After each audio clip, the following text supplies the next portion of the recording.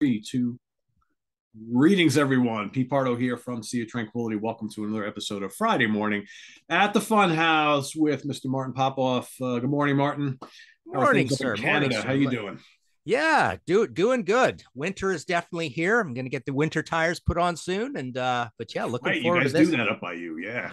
Yeah, yeah. No, we do we do it pretty early, and uh, and legally you you, you got to do it pretty early. So I, Yeah. I think it's BC that's uh, uh, October first. You got to get it done. But here, Okay, here that's it's early. Later. So, yeah. Yeah, I think uh, when I got up this morning, I think it was 37 here. And yesterday morning, I looked out my office window, and uh, our front porch is below us, and we have a little roof there. And there was frost on my on my roof of my front porch. I was like, oh, Yeah. I guess we're there already. So Yeah, yeah, no sure. denying it now. So uh, cool. So uh, we've got a very interesting topic this week. This was uh, one of Martin's ideas, and it it kept both of us pretty busy, kind of pondering it for the last week. And uh, the title of it is exactly as you see on the video: "Do I trust this band slash artist?" And I'm actually going to let Martin explain a little bit of the genesis of this topic and kind of how we got started on this. And then uh, we've each got five examples that I think will take us both down some different detours that I think will make for some pretty interesting conversation. So, Martin, why don't you kind of get us started on this one? Yeah, so so this is something I've always kind of thought of, um, you know, and and the ones that come to mind, I'll I'll mention in my first example here. I guess it's the main way of thinking about this, but you know, we got talking about bands that we uh, uh, trust implicitly to do uh to do great music even though we do we may not like it sometimes. Like like you get to you get to albums of theirs and you think okay these guys are consummate songwriters. I know they think about it a lot.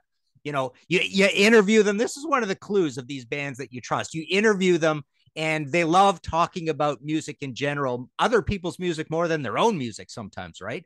So so there's this category of bands that I've always thought that uh, that when you when you hear albums from them and you only like half the album or two fifths or whatever or three fifths or whatever, you you kind of go, it's on me that I don't like them because I know I know they're making great music. They just happen to be picking some directions, unfortunately, too many directions on this album that aren't to my particular taste but I know they're smarter than me and they're and they have great taste in music and what they're doing they're doing very deliberately and for a reason. Um, and so I so I respect what they do. I'm just frustrated I don't like it and I think it's a fault within myself that I don't like it. So that's my first category here. And the first band I want to talk about a little bit in that direction is this one, Cheap Trick. So there's their first album there's their one of their classics, right? Uh, and then you get to later ones like this, you know, special one, and uh, and we're all right! Exclamation mark, right? So we're all all right. Sorry. Um, so the the interesting thing with Cheap Trick is is it really fits in this thing in that the later records, it's it happens with these bands a lot as well. Um, where they put out a lot of stuff, uh, you know, too much uh, or, or too frequently. And, you know, sometimes you think uh, when you're making excuses for them why you don't like what they're doing, sometimes you're thinking, um, well, they know that they made songs like this that I would like, two or three of those too recently. So they have to do something different. So when they do something different on here, that's an additional reason they're doing something different is because they know they can't do, be doing the same thing all the time. And they're also doing something different because they are fearlessly creative and explorers of new music and trying new things and they're restless and stuff. So you come up with all these compliments for what they're doing uh, and yet uh, you're not liking it. So so it's you know and again with cheap trick I, I think one of the things that that you feel as well is that they've got this great history uh, they even go go back before cheap trick and they also have this thing where um, you know those guys quietly have written some really cool songs with other artists. So you know you know they're they're great songwriters and all this. You know they're musicologists they love their Beatles and all this sort of stuff and their power pop and and they've they've made obscure covers over the years. So again you you keep thinking they they really know what they're doing. They're they're really skilled. They're great songwriters, but they touch down too often on things that I don't like. And and one last point with Cheap Trick, um, same thing goes to production. I'm not liking the new productions very much, and um, I'm finding them kind of like uh, mid-rangey, a little noisy, a little anemic, a little snappy on Daxx's snare, um, and so I start making excuses for it. I I don't I don't think um, the production's not good because they don't know what they're doing. I think the production's not good because they've heard every production under the sun. They've tried every production under the sun. They know gear implicitly. Um, and this is something they deliberately like. They want this production's sound. So, it, so it's like intentional that it's like this. So that that thing of intention is another complimentary excuse I make for songs that I don't like. So, so quite often across these Cheap Trick albums, I'm only really liking half the album. Um, but I stand back and go, I trust them. I trust that they know what they're doing. It's just not for me quite often. So that's that's so my a, actually not me, you me issue, right? Yeah, exactly. Yeah, and I'll just mention a couple of quick um, you know, uh, uh, honorable mentions in this department. Uh, the band X later on, they had some so- they had some albums that were kind of atonal, atonal, a little heavyish, uh, you know, a little hard to love, a little thorny. And I felt the same thing because I love X so much. I I absolutely trust them as huge musicologists. They know the whole history of rock and roll and country music and all this put in. And then John Doe, even as a solo artist, same kind of thing. I love the songs I love on the John Doe solo albums, but there's a whole lot I don't love. Faith No More was one that came up, you know, thinking of Sol Invictus and even album of the year a little bit, where I just I just know these guys are so hip and cool and great songwriters and I love all the early stuff.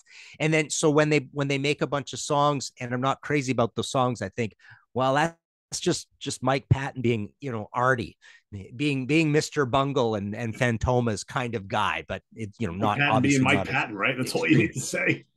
exactly. Yeah. I mean, there, there's there's a perfect example of of where um you know you absolutely trust this guy as an artist, but a, a whole lot of people can't get into Mr. Bungle or Fantomas or whatever.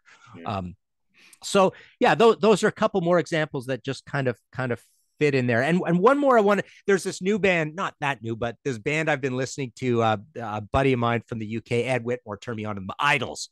Um, so so they're they're like um they're like a post-punk noisy they, they remind me of Wire a little bit, and I've been playing their stuff and um and love the production, just totally weird production.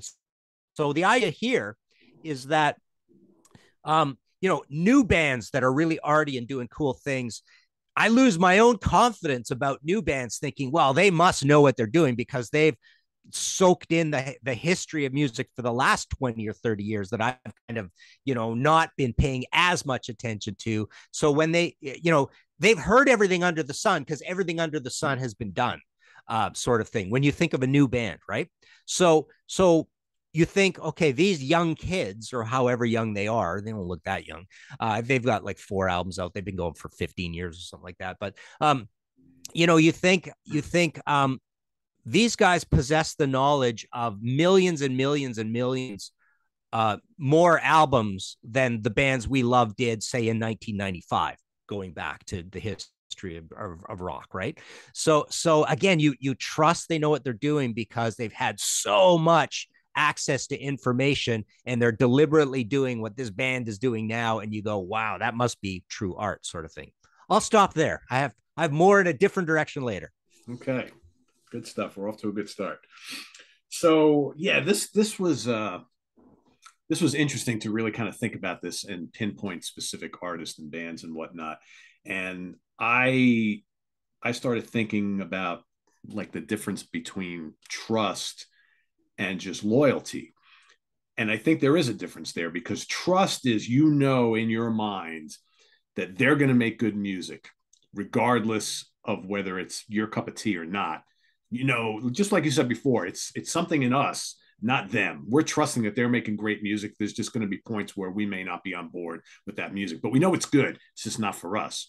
Whereas loyalty is different because you're going to listen to and and force yourself to love no matter what because you have this loyalty to that particular band. You're hoping they're going to make stuff that you like, but somehow you've convinced yourself it's like, eh, even if I kind of don't like it, I'm going to like it anyway, or I'm going to convince myself that I can like it. So it's two very, very different things. Um, so my first example here today, this is actually the first one that came to mind, and it actually came to mind because he's got, and this is kind of a guy, right? It's it's a it's a member of a band, uh, and he's done lots of other things in more, well, not not even just recent years, throughout throughout the course of the time he's been around. The guy is Jim Matheos from Fates Warning. Okay, so Fates Warning, a band that's been around, geez, now almost 40 years. Uh, you know, I was on board from almost the very beginning, you know, the early days uh, with John Arch, of course, you know, The Spectre Within, Awaken the Guardian, classic albums. I trust Jim. All right. He has he's been the driving factor behind this band. Things don't work out with band members. He brings new band members in. He brings in Ray Alder for the No Exit album. I'm digging it. Even heavier, more progressive, right? along the way we see shifts in musical style right well, you know you got these early heavy complicated kind of doomy albums very textured uh, and then you know the 90s come in they're starting to do albums that are a little bit more accessible i trust them okay i trust the band uh, i'm in all right i'm liking this they go and take a couple steps back and they do an album that's all one long song. It's not accessible at all. So they're taking a step back from this kind of stuff. I trust them. I like this, right? Along the way, Jim starts doing other projects and things. I trust Jim, right? Driving force behind Fates Warning. I love Fates Warning. So he's doing stuff like OSI, okay, which is kind of like a weird super group. Not very Fates Warning ish. I trust Jim. I don't know if I like this band that much. And I know Martin's a huge fan, and I know a lot of people who really like OSI. I kind of like the first album. It's okay. I really don't like the subsequent albums. But I trust Jim. And I know this is good music and it's different music. And it's okay to be different from the main band. I just don't really care for it much. It's not really my cup of tea, but I know it's good. And I know this is all about me, right? So Fates Warning go continue. They put out more stuff. Some albums are better than others. Uh, I don't like all of them a ton compared to some of the classic ones, but I trust Jim and I trust the band. It's it's good music. Yeah, not my favorites. Now in later later years, they're putting out really really strong late period albums. And again, another one of those bands that uh, are have had a kind of second life in later years. Uh, and I trust that they will do that. All right. And they have. So their later albums are among some of their better. Now, you know, we hear news that uh, Fates Warning as a recording uh, band are probably not going to continue. We may see some live stuff from them, but as as far as a, being a band to make records, not going to happen. I trust that Jim, being the great writer and musician and thinker that he is, and I've read the, the biography and you get all this insight into him. I trust that he's going to continue to do, if there's no more Fates Warning, he's going to continue to do other projects that will be just uh, equally as impressive, right? He's put out some solo albums in fairly recent times. I don't particularly care for them. They are really good. They're meticulously crafted. He's a great guitar player. There's lots of textures and things. There's some like classical and folky stuff, and it's very kind of new agey. It's not really my cup of tea, but it's excellently done, expertly done. And I trust that he will probably continue to do more albums along that same vein. May not be for me, right? He does another project called Tuesday the Sky, which is even more kind of like electronic ambient, atmospheric than OSI. You can imagine what my opinion is of that. It's well made. I trust that he will continue to do oddball things like that. I'm really not along for the ride there. However, and the reason why he sprang to mind for this immediately, he's doing another project now called the Kings of Mercia, which is like catchy melodic rock, right? With uh, uh, Chris Overland, the singer from FM, Joey Vera's on board here, Simon Phillips on drums. On paper, I was kind of like, ah, I'm not sure if I'm going to like that, but I trust Jim. I know Jim always produces quality. I may not always be on board. So I went in a little skeptical with this. And you know what? I really like this a lot. It's catchy, it's big and bright. It's not Fates Warning at all. It's not metal. It's you know if you like fm it's kind of very catchy upbeat bright melodic rock with jim matheos crunching away on the guitars but it's not really metal. And the more i listen to this the more i like it. And i'm thinking this is why i trust jim matheos because even if i don't really dig everything he does i know it's quality and i know that he's putting out good music. It's just not all for me but I can easily, that's why I will easily recommend any project he's done because I know I trust him and I know it's good. I'm just not on board for all of it. I'll stop there. Interesting. And and that that sort of more poppy accessible project thing, if that was if that was for like 25 year olds in in white t-shirts and sweatpants, you know, that you've never heard of, right? Just some kids making that music you know you you wouldn't you wouldn't buy into it you'd say this Probably is from not. whole world i'm not into but because i trust jim i know it's done well right yeah. and you know you bring up osi and and that got me thinking of of the trusting of you know I, i'm on board and i've gained a ton of trust when kevin moore leaves dream theater when bill bruford leaves yes when peter gabriel leaves genesis it's like i i now trust these guys even more because it's like it's like you know you know they're on a, they, they have great taste that that they feel like um you know the music I want to make is is got to be twice as good as this and to and to make that music I got to leave right yeah. Yeah. they're kind of thinking right so yeah. all right so my next one um the theme here is losing trust um and uh, my main example of this, and this is all tied up. Uh, the most extreme examples are also tied up in, uh, you know, people have heard me blather on about. There's only two bands I've ever considered absolute geniuses, um, and that's um, basically Judas Priest in the 70s and Queen in the 70s, right? Um, where where I consider this run of enough albums to, to show that it's not accidental. Uh, you know, proving that you guys are operating, you know, this this band is operating on a plane way above everybody else. You know, you can't touch them, what they're doing, where did it come from? Nobody knows. The, the sad part with Priest is that the the number of times I've tried to get them to kind of articulate where that came from, they can't do it. And and and to, to my mind, I've been disappointed in that um, it made me think, well, maybe it was a little accidental with Priest, and they aren't geniuses, right? So I lose trust in Priest when you know I still remember it like like the day it, day it happened. Um, when British Steel comes out and you know they make as as I call it, you know, the first Judas Priest Kiss album, right? Um, so Judas Priest, you know, basically I've lost trust in, in them as immortal gods, you know, you know, pulling pulling music out of the sky like Jimi Hendrix did, um, you know, through those 70s albums and thinking, ah, they're just a band now that I really like, but they're flesh and blood, they're human, right? Um, and the same thing happened with Queen. Queen Queen were like absolute geniuses operating on this plane. Nobody can touch them. You know, they're like three times as good as Led Zeppelin. They're killing Led Zeppelin at everything Led Zeppelin did or whatever, killing Sweet at what Sweet does. Um, but uh, but the but then all of a sudden they become mortal and i go well they obviously can make mistakes and they can make lots of mistakes and brian may all of a sudden barely ever plays like brian may anymore right? Um, and and literally they could still make heavy songs and he can't play like Brian May anymore. And those heavy songs aren't even written like the old heavy songs, right?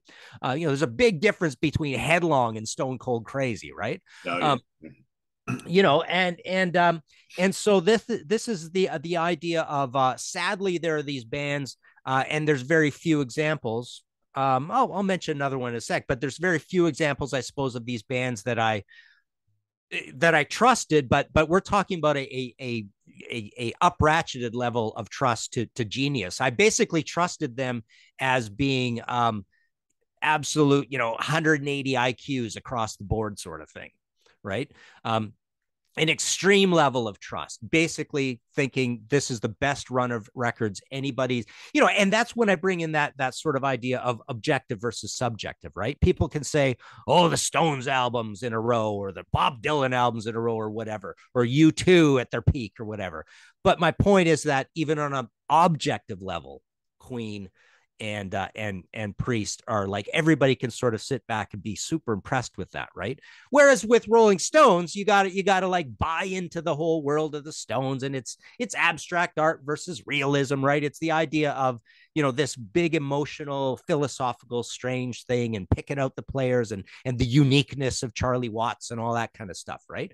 Um so so the one uh, the one other band i want to mention in this um uh in this category is iron maiden so iron maiden is not exactly in this category because i never considered them geniuses right i basically i list i love all of those first five maiden albums in a row i think they're one of the greatest bands going but they the, but they seemed like regular flesh and blood guys just making amazing, amazing, amazing music. They they didn't seem like aliens, right? Um, so all those records in a row are great, but but you know, you get to the end of Powerslave and it's like, okay, everything they did from there on out is kind of like a repeat of most of the same tricks all over again, right? A- after after Nicko comes into the band and they make two records like that with this really interesting, distinct chemistry almost like a who like chemistry that they have between you know steve and Nicko and and just everything about them this really great lead singer and this twin lead idea and all this stuff and there's all this great great songwriting. Basically um they they essentially become a band that uh it, it turns out that they've shown you all their all their cards. They've shown you all their tricks. They've really got none left. They still make a bunch of great music. And frankly, I, I like I like the last five Maiden albums better than the the five after um, after after Powerslave. Uh, essentially, you know, you really lose trust in Steve as a writer when you get to the Blaze Bayley albums or or No No Prayer for the Dying, right? Um, and then you know, God knows there's tons of Maiden fans that will complain up and down about pick any one of the the later ones brave new world on sort of thing right? Um so so that's a band where where it's like um i loved everything they did. They were they were incredible. Didn't really consider them geniuses but then then you just sort of lose trust that they could even operate at their at their old level all the time. And and you think ah they they've kind of you know there's a limit to their intelligence kind of thing um, but yeah, like I say, I'm I, I don't want to sound like a massive complainer about Maiden because I I actually really like most of the later stuff a lot more than even that middle stuff. And I think I think they make amazing stuff, but they're essentially the same new wave of British heavy metal band they've always been. So has Maiden crossed over into the loyalty category? For many yeah it yeah you're right. Yeah it's there's definitely a loyalty there. You want to love it. So that's the other thing with the loyalty thing. You want to love it. You're disappointed when you don't love it. You're you're just just really bummed out that that when when you hear a bunch of maiden songs that you don't like from from later years and you champion them you're so happy for all those songs that you do love. Yeah i mean and you make a really good point. Not to deviate the, this whole conversation but like a lot of their albums in more recent years, there's a sameness to all of them, right? You're not there's no real big surprises. And I'm amazed when you know someone will say, "Oh my God, Senjutsu is awful." The last couple albums were so much better, and to me, I'm like, there's really not that much difference between these last couple albums, right? So what what makes one so much more awful than the others? I struggle with when I hear people say stuff like that. So I don't know, because to me, if you like one of them, they're they're all good, right? They all have their their good points and their weak points, but they're all very much cut from the same cloth.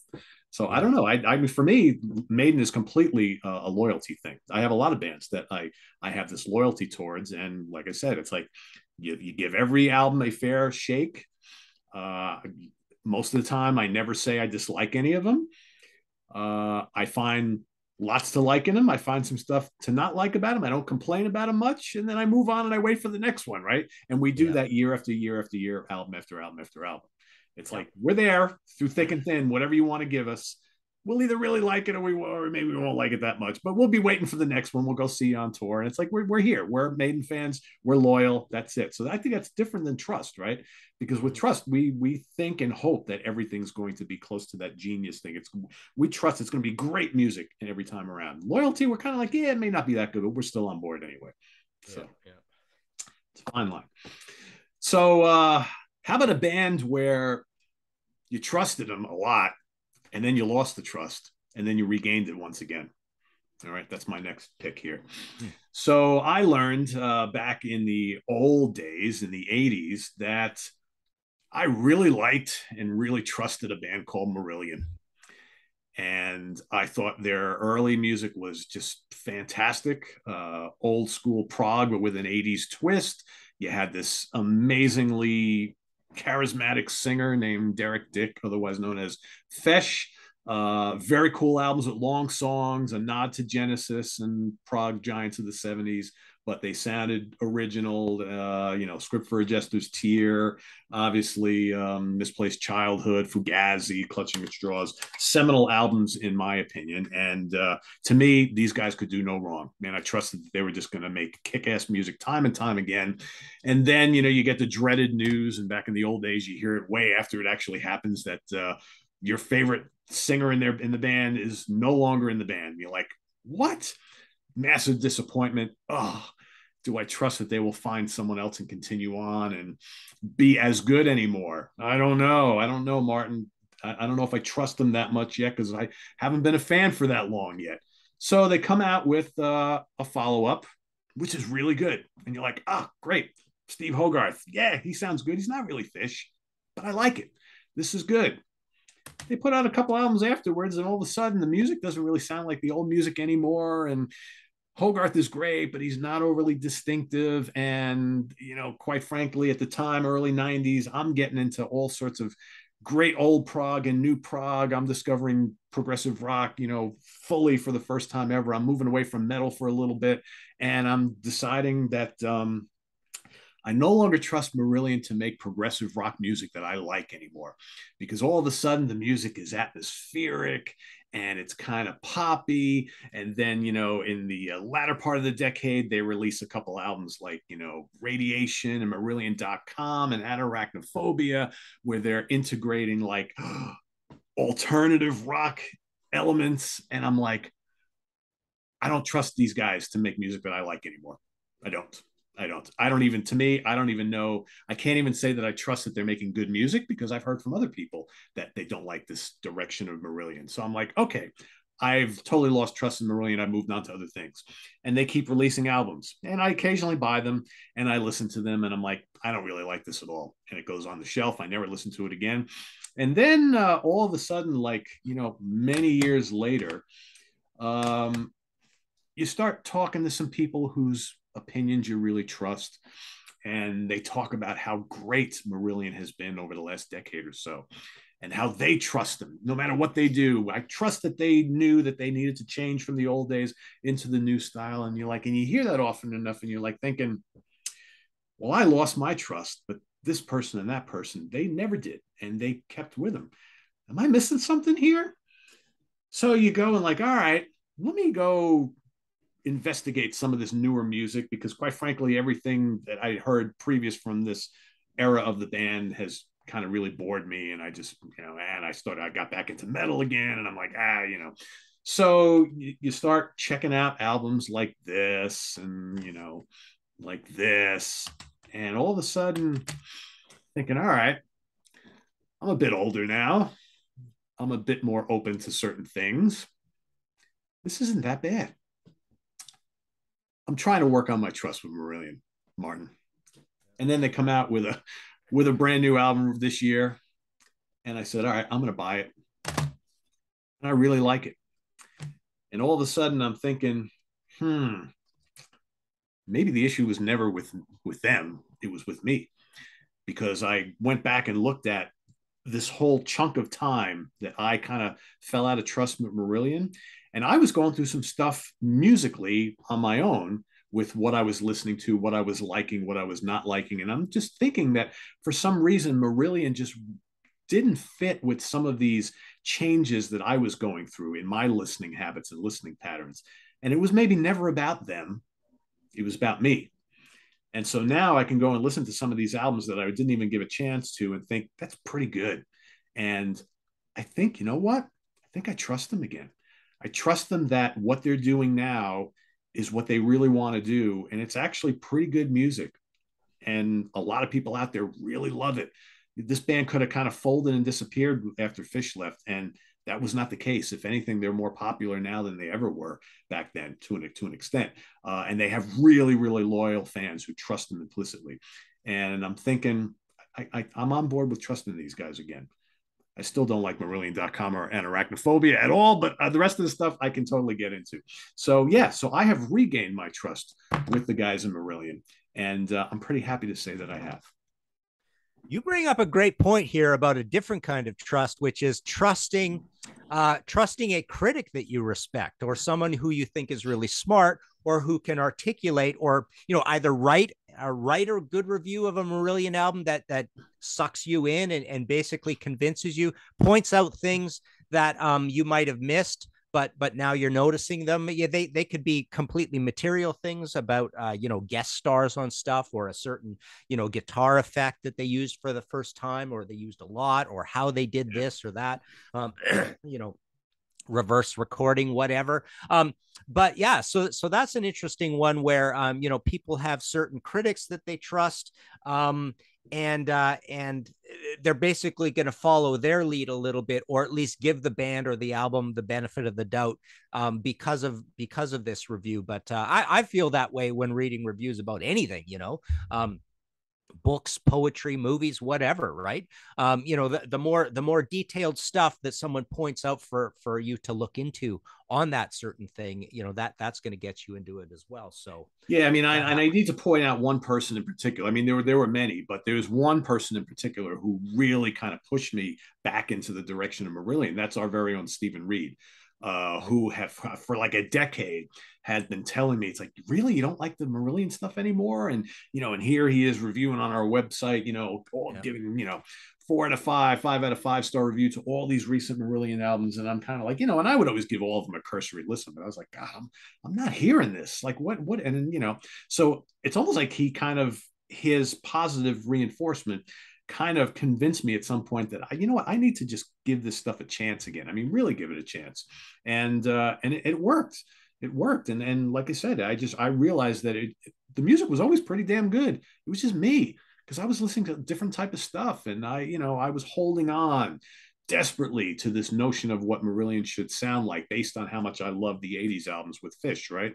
And at some point, you got to stop and say, just like with anything, it's like, well, you know what? They're not that band anymore and you know sometimes you move on from bands right? Because they just they're not playing the type of music you like anymore you move on.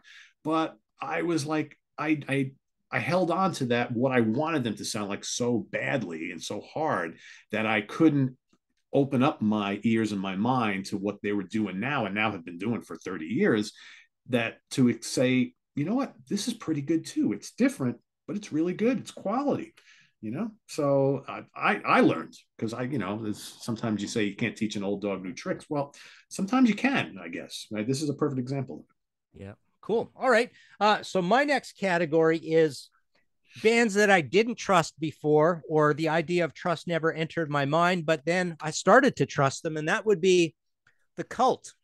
You know you got the early stuff dreamtime you've got you know the the big one where they were the it band electric and then some of the later stuff beyond good and evil and the one that kind of turned the tide uh, the the cult. So so it's interesting. Um i remember you know we, we've we've both talked to jamie laszlo about the cult before. Um but uh you know and and he loves this album. And uh you know and the idea was when this album came out it was it was kind of ugly music, hard to love, a little bit alternative-y, a little bit caveman-y, tribal, uh, all these things, a uh, little atonal. Um, but you know, I started respecting them at that point and thinking, okay, you know, they're they're fearless lovers of music. They're they're looking for something else. They're restless, uh, and then and then you know the later albums they just got better and better. Although you know there was a little bit of a return to kind of more rocking out or whatever. But but the point is is that you know they were just another band that I liked quite a bit through the 80s kind of thing and I'm, I'm into these albums and they're pretty cool and they're heavy and they're a little different they're not exactly heavy metal band blah blah blah um, but but I just thought they were like normal guys making pretty good music. But then you know, and, so here's another example: interviewing Ian Astbury and, and and like realizing what a what a passionate, honest thinking, thoughtful guy that guy is, and and how into music he is, and how important music is to his life. Uh, and he's had a very colorful life as well. Um, but he just strikes me as one of these guys that you probably could just talk about music and, and he'd never even want to talk about the cult for two hours, right? Um, and and so when you get these guys who are that enthusiastic about music, um, and then and then these albums are coming out and they're and they're kind of like under the radar, um, and and you're just really liking them, and all of a sudden you're going, okay. Okay, I, I kind of trust everything this band does, and you know, unfortunately, in the cults in in the cults case, um, the kind of music that they like to make most of the time I like anyways. So that's good. So so there aren't these albums where three fifths of the album I don't like and I'm kind of disappointed. I'm I'm more like on board with four sixths of of the album at least, sort of thing, two thirds or whatever that is, right? So um, so this is a band that uh, so the category here is didn't really think about trust, didn't trust them, never crossed my mind to have that debate now uh, now that I trust him. And one other one that I thought of in that direction is like a John Mellencamp, right? So so coming up in the 80s, he was like Bruce Springsteen light, you know, annoying. He's got all these hits. There, I'm hearing him too many times. He's much better than Bryan Adams, but he's not as good as Bruce Springsteen. He's he's not that wise a man. He's he's like he's like just you know he's he's a pop guy. He's Mr. Heartland. He's kind of wise. He's kind of smart, right?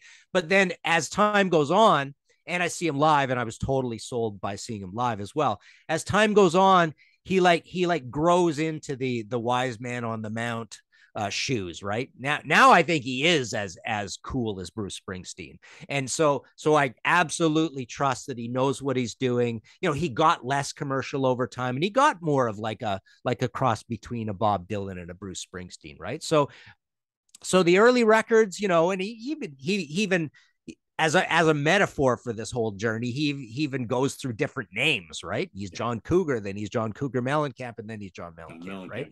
So so that so that's like a metaphor for this journey uh, into trust right um and and so so now i just think he's like this this amazing literary you know woody guthrie um john steinbeck bruce springsteen bob dylan rock you know a you know liter- literary god of of of writing about you know America, right? But but before it's like he's just kind of annoying. He was just just like this this guy that you just want to swat aside and you know ah Jack and Diane's playing again, right? Little Pink Houses playing again, right? Um, so uh, so yeah, that's a funny one. That's a little bit like the cult. Uh, you know, both the cult and John Mellencamp to me are like rock gods now, and and before it's like they were just incidental. They were just kind of there. Yeah, I would. The cult is an interesting one. I would kind of agree with you. I don't think I've ever. I, have you know what over the years, I listened to the cult very kind of like sporadically, so there was no trust there at all. I'd be like, if I if I had the inclination to buy one of their albums because I heard one of the songs I really liked it, I'd buy it. But I went for like stretches where I didn't buy or listen to anything by them. Uh, it wasn't until more recent years where I started like kind of catching up on the catalog and thinking, all right I kind of see it now. This is a band if I would have kept up with, you know, but I remember like the first two albums or so back in the day, I didn't like it all. I now I find lots to like there, but back in the day, it's like I like the heavier stuff, and and then they kind of changed direction a little bit, got a little weird, and they got heavy again, and even like I, I mean, I just got the new one. I don't know if you've heard this yet, Martin. Um, interesting. Yeah, and what's it got in common with Clutch, right?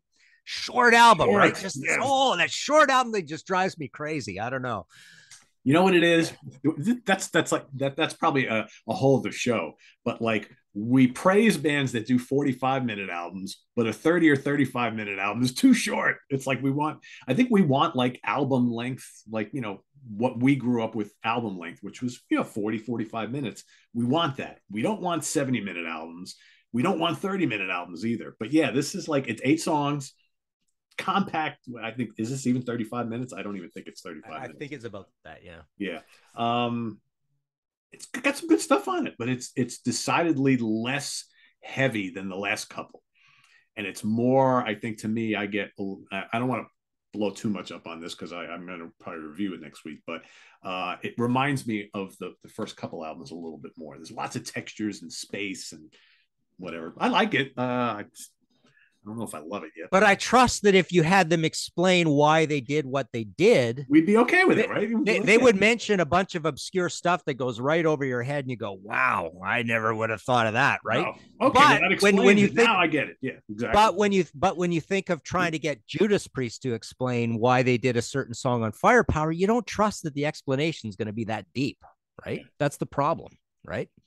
So there you go. There, there's the there's the trusting that these guys are massive musicologists versus another band where you where you go, ah, I kind of know why they did it, and there's not really much to it, right? It's like they, they explain why they did Nostradamus. I don't care what the explanation is, man. I'm yeah. I'm not on board with it regardless. So yeah. All right. Uh, I have another example here of a a guy in a major band who in my mind, uh, is pretty much a genius. And I have for, you know, 45 years or so have basically trusted anything he's done. I buy just about anything him or the band does. And uh, again, I may not 100% love all of it, but I trust that no matter what he and the band come up with, I trust that it's going to be great music, right?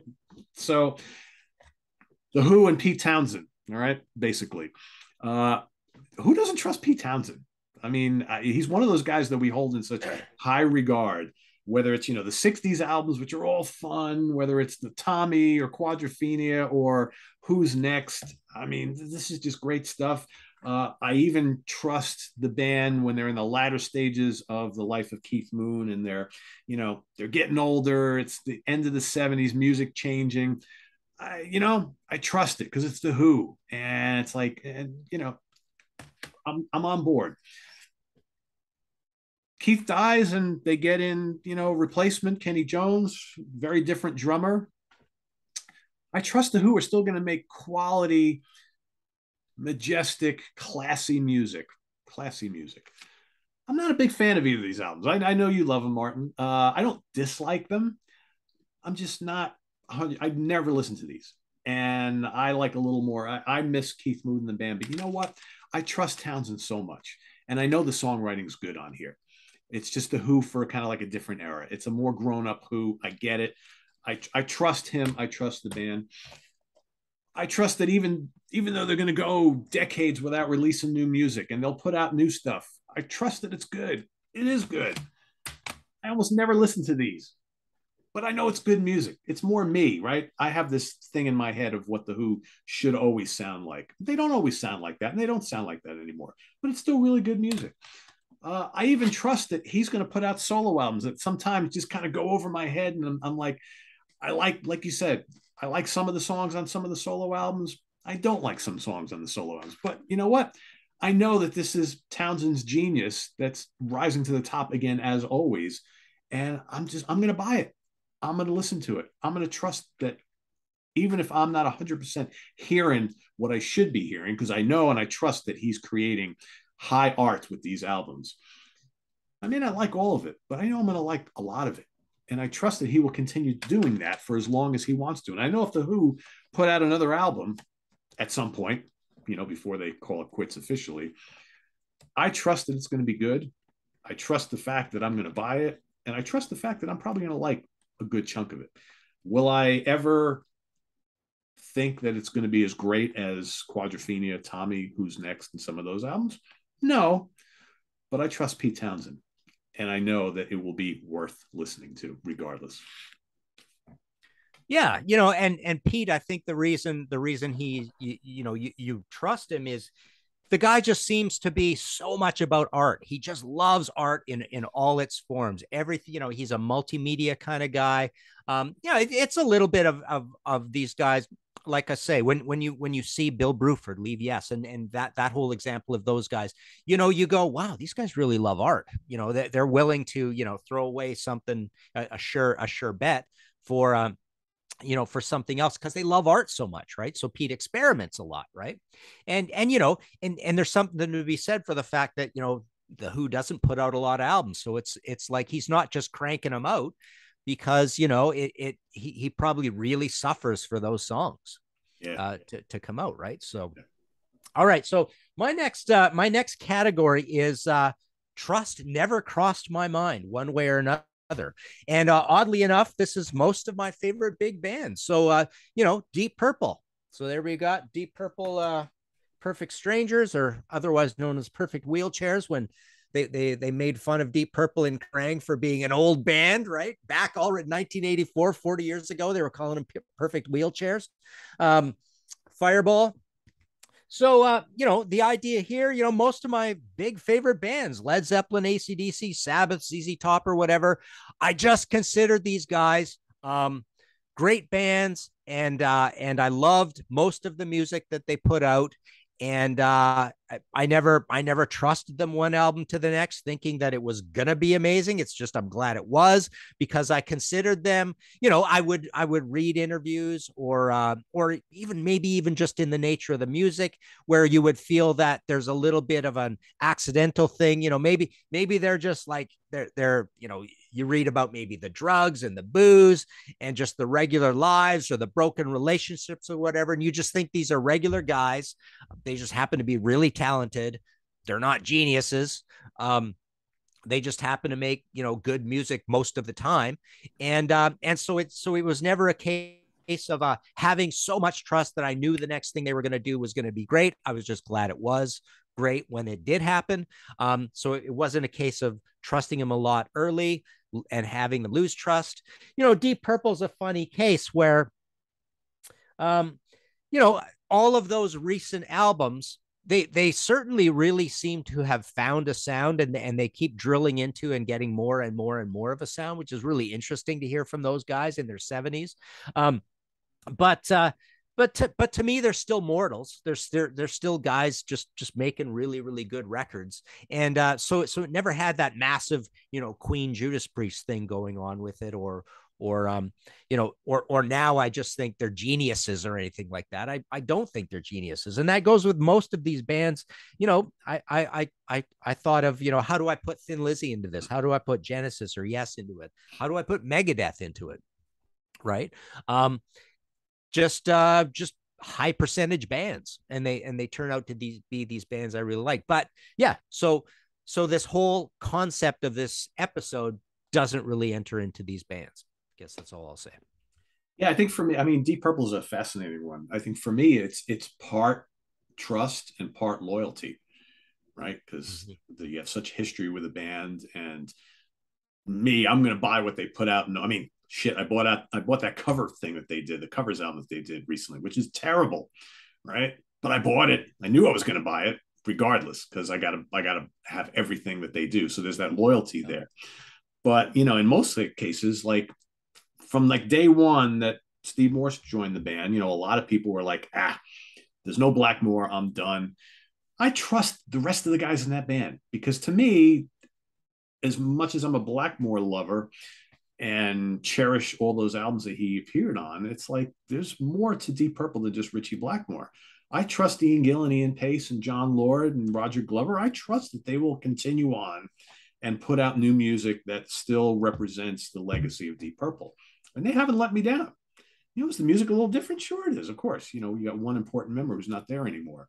You've got different flavors going on, but I've always trusted that they will do what's right for Deep Purple. So with me, it's it's both. I, am loyal to whatever they're going to do. I'm going to buy it. I'm going to force myself to listen to it and and digest it and whatnot. But I also trust that they're going to put out, you know, as the best music they possibly can year in and year out. Yeah, one extra thing about Purple that I, that I do trust them about is um, they've always had this idea that um, the level the, the albums will have a minimum level of quality that is pretty high um, and that's that's something I've even felt about Aerosmith, even when I don't like uh, you know some of their albums, and I think they're actually terrible albums or whatever. Right? Y- you still feel like a whole bunch of work went into it. They probably threw out a lot of material to come up with what they did. Um, you know, outside songwriters, they they sweated those songs. They took a long time to put out, and, and Purple kind of feels that way as well. And I always think of Aerosmith in that in that uh, example too, because even when they they they seem to be completely incapable uh, as human beings you know night in the ruts rock rock in a hard place um, maybe maybe done with mirrors to some extent. Um, you know it it's still like how do they make a record this good? You know, I mean, it being this much of a shambles, like Rock in a Hard Place doesn't even have the two main guitarists, and Steven's almost dead at that point, right? Yeah. And yet this album comes out, and you go, "Wow, this is like really well put together." This sounds, you know, like they had had their had their powder dry, sort of thing, right?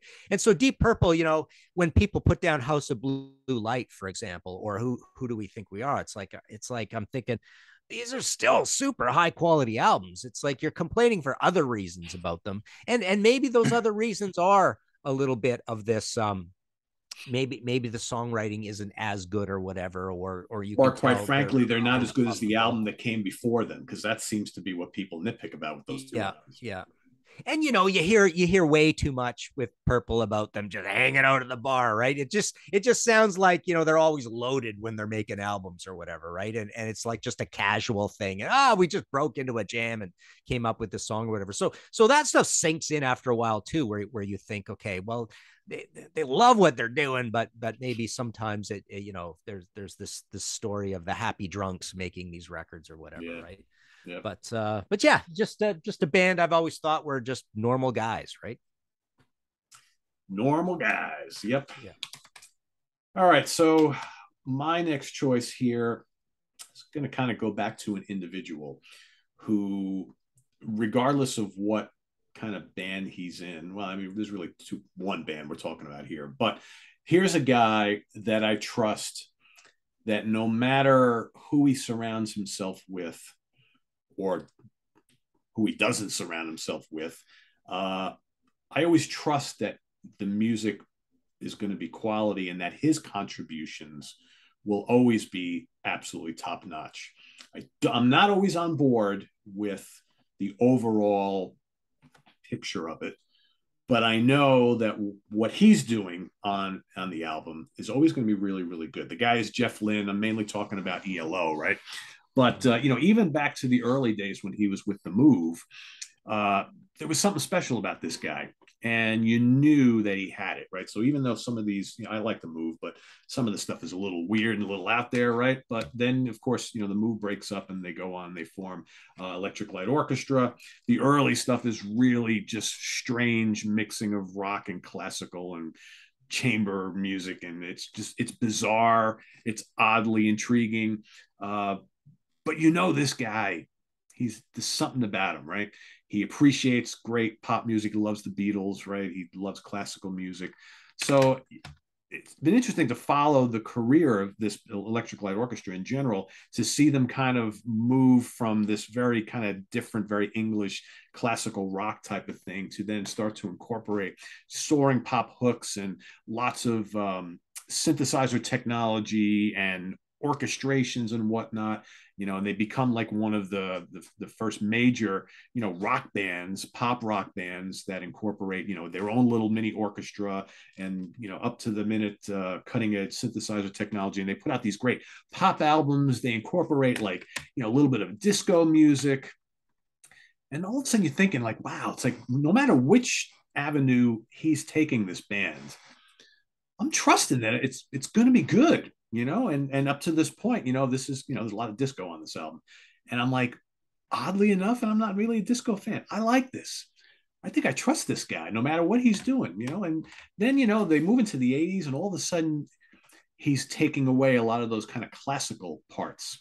The orchestrations are gone. Now it becomes more of like a you know a rock band or a pop band that uses lots of synthesizers and uh, electronic drum beats and things like that. And you're like, all right, I kind of like this too.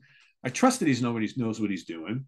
His vocals still sound amazing. You can tell he's still writing very intelligently and arranging very intelligently, but he's changing with the times.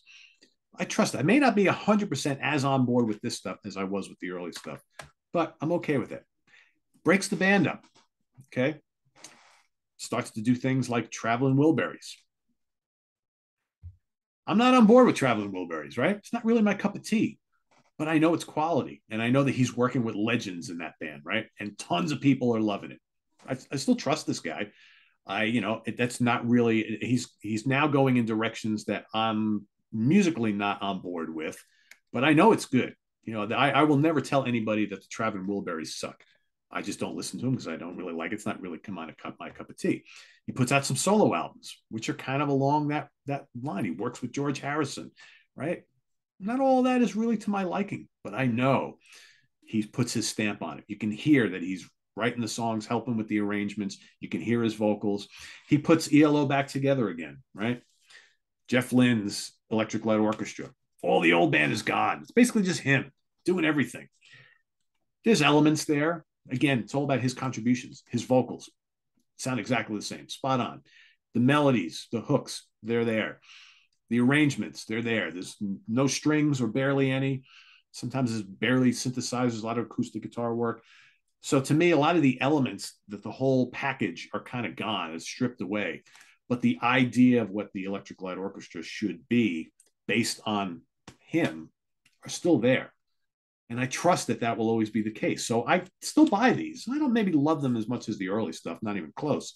But there's there's oddly enough, there's enough to intrigue me here because of him and because I trust his musical vision and his skills.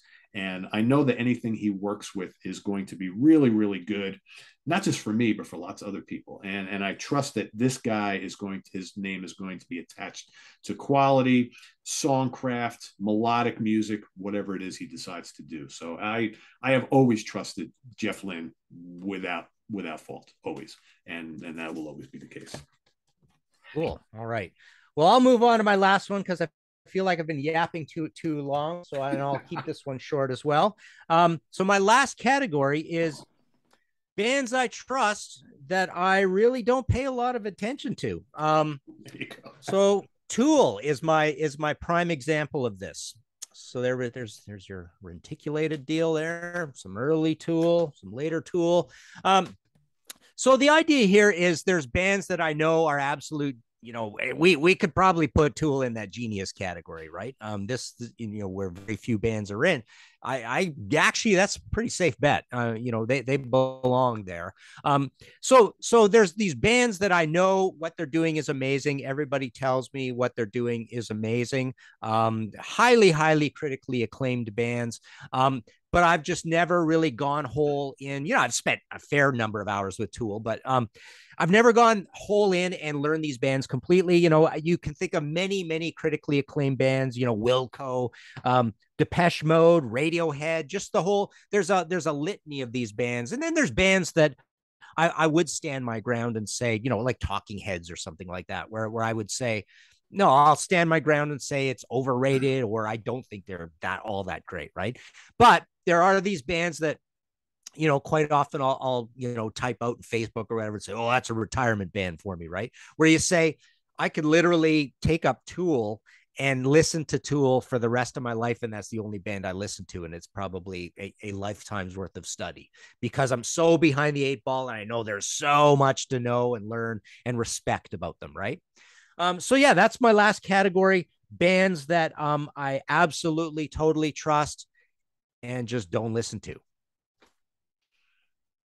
Yeah, there's those those albums are so dense and layered. It's yeah, you could literally spend months on end just listening to that. Those, I mean, they don't even have a lot of albums, but there's like so much music on them. It's crazy.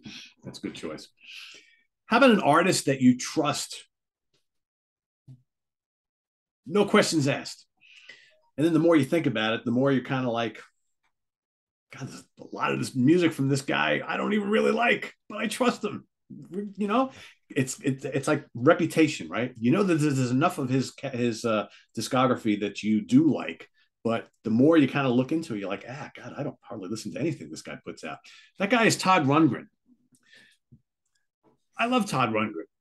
Todd Rundgren not only has been hailed as you know one of the great songwriters of all time, an excellent producer and arranger. Uh, he's got some classic albums, you know, the early, you know, Wizard of True Star, Something Anything. Uh, you know, he's done some great stuff with Utopia, right? That first Utopia album. Uh, a whole bunch of Utopia, you know, taking taking Utopia the band from being a prog band to like almost like a kind of like a new wave power pop band. Uh, his solo stuff has run the gamut from singer songwriter to rock to psychedelic rock to like Motown stuff to electronic. Um, you know, he did an a cappella album, which is all vocals, really odd but intriguing. He's done like really weird electronic pop albums. Uh, he's returned to like, you know, hard rock.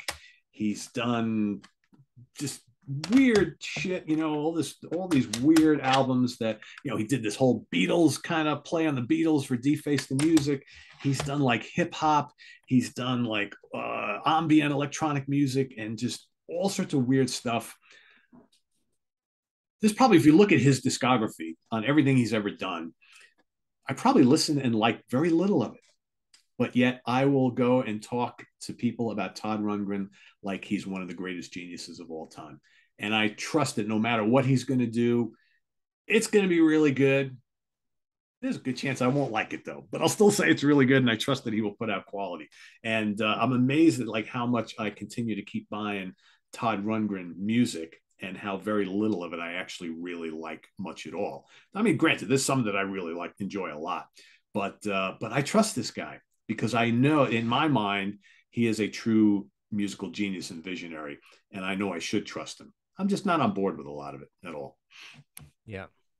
Yeah, I mean, one that came to mind a little bit like that for me is Bjork. I've been playing quite a bit, quite a bit of Bjork lately, and um, although although I probably like a very high percentage of Bjork stuff, but again, it, it's a little bit like a Todd where she'll try a whole bunch of different things, right?